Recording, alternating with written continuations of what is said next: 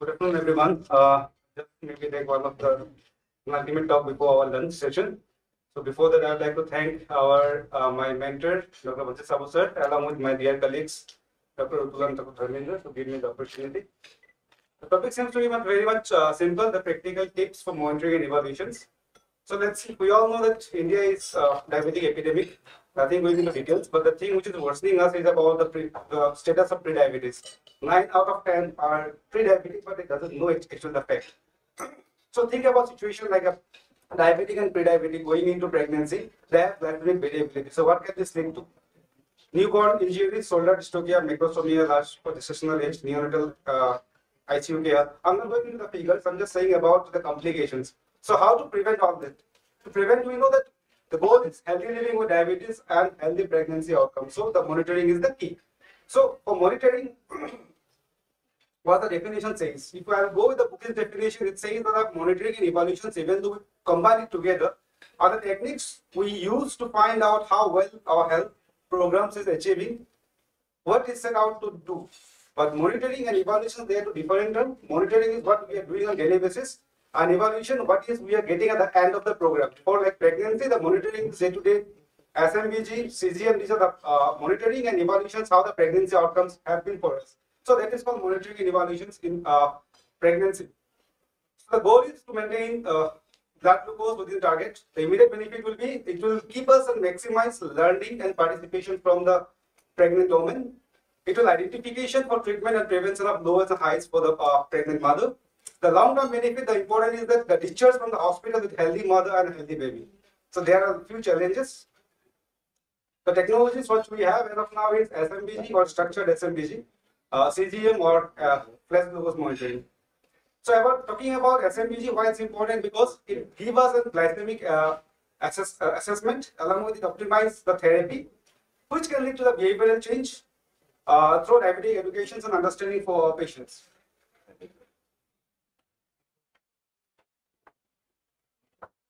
So the idea of recommendation for the use of SMBG, that's uh, it should be used at the time of diagnosis.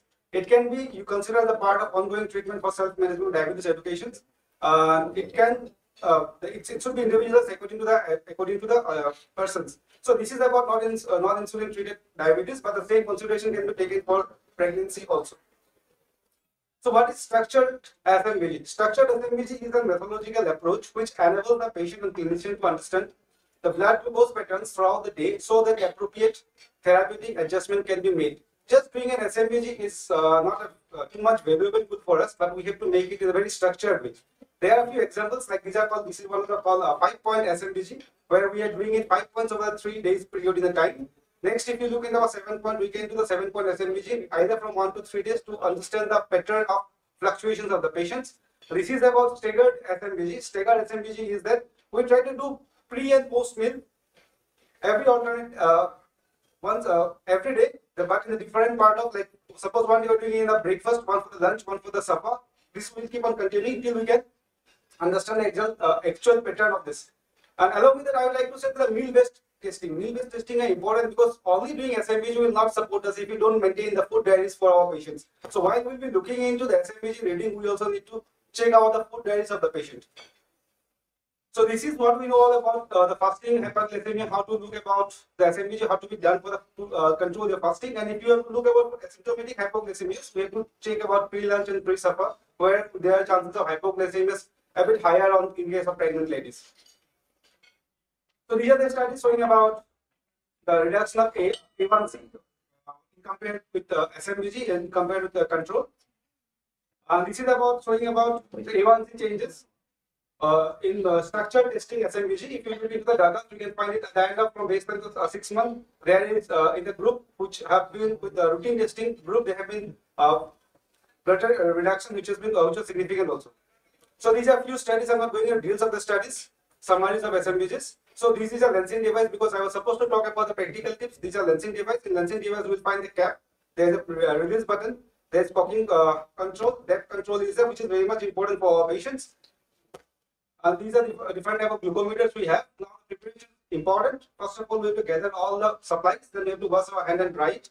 Uh, If required, we need to put this uh, gloves also in case of hepatitis B or HIV positive patients. We need to take care of that also. After that, we'll get the meter ready and then we will uh, lens or we'll uh, prick the finger, preferably the ring finger. I hope we all know about the reasons why we have to choose the ring finger, uh, then to lateral aspect of the finger. And after that, there are a few blood glucose meters which we need to drop, but we don't need to spare the blood over the uh, part. Or there are a few meters which wick the blood into the uh, strips, and we'll get the results. So this is about, but the thing is that practical thing, how to get enough blood for testing.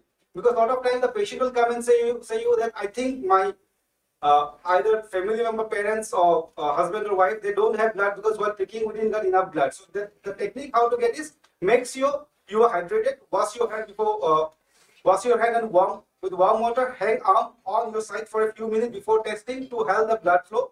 Apply a warm compression prior to testing. Message the hand prior to testing. Apply pressure onto the finger before and using the lancing it. Don't test on the same finger each time. Adjust the lancing depth along with that. So this is there is one more rule called milking thumb method. I'm not going into details. It's like almost similar. Only thing is that we have to uh, we have to use two fingers while uh, doing this.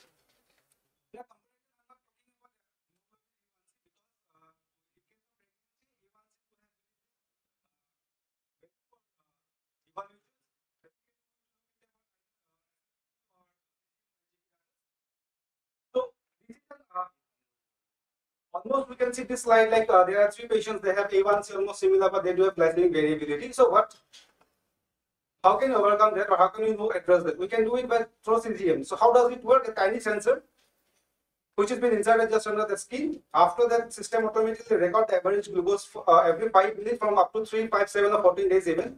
And it do have an alarm uh, to say about when the sugar is out of target.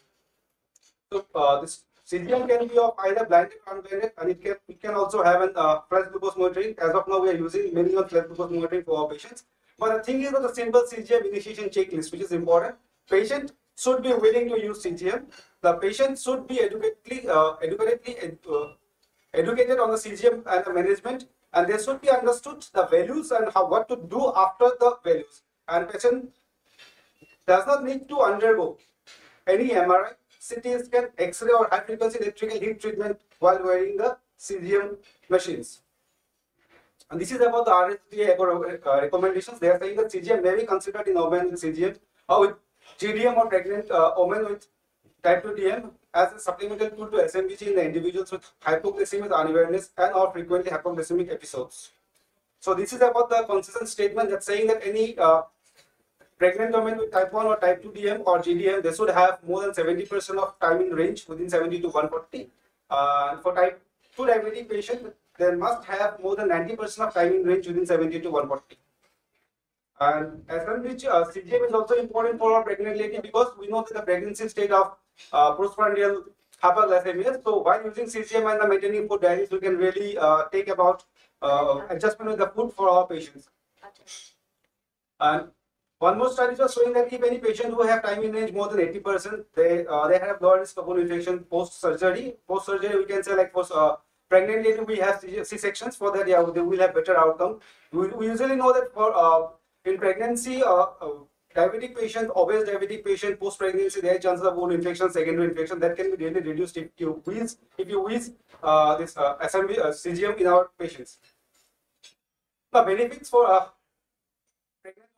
uh, uh, in case of post-neonatal outcome, what they found that in any uh, patient who have time in range more than 70%, uh, they have uh, better pregnancy outcome uh, from for our patient along with the neonatal care, which have been taken from the CONCEPTT study. They say that it has been reduced LGA, neonatal hypoglycemia, and neonatal ICU admission too.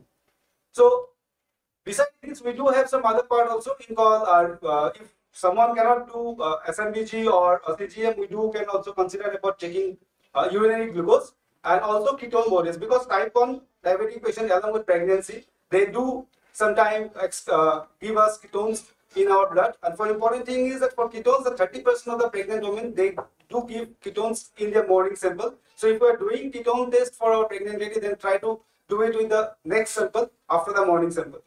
And hence, we need to uh, check about the blood ketones method also, uh, which are preferred for our patients. So there is one study called uh, the twin study, which have been saying that Uh, there is a chances of having a similar gene, but we know that the twin study that hype, uh, epigenetic changes can al- also required for that, and we know that uh, rising prevalence of uh, diabetes, uh, then GDM and all these things. But thing is that the epigenetics is been regulated by the environment, and environment is like the food, lifestyle, and all these things. So monitoring can be a very special, part to overcome these uh, changes.